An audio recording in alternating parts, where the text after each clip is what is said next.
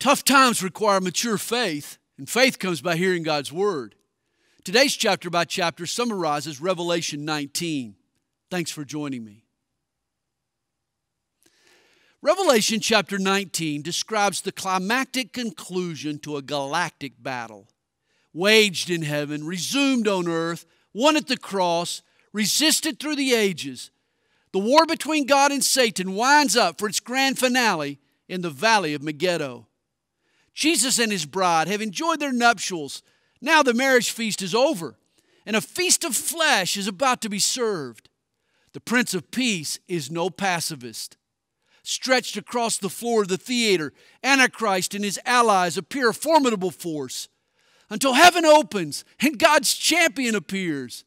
It's been a long time since this wicked world has seen the Lamb. What a surprise to hear him roar like a lion. He came the first time to save, he comes the second time to slaughter. No donkey ride this time. He's mounted on a white steed, wearing a robe that looks like it bleeds. The army of heaven this general leads, coming to do a righteous deed. With a rod of iron, he'll force the nations to heed, and with the flesh of the wicked, the vultures he'll feed. Look at his thigh, and there you'll read King of kings and Lord of lords. Scavengers hear the dinner bell, and the demonic duo are tossed into the lake of fire. The war is finally over.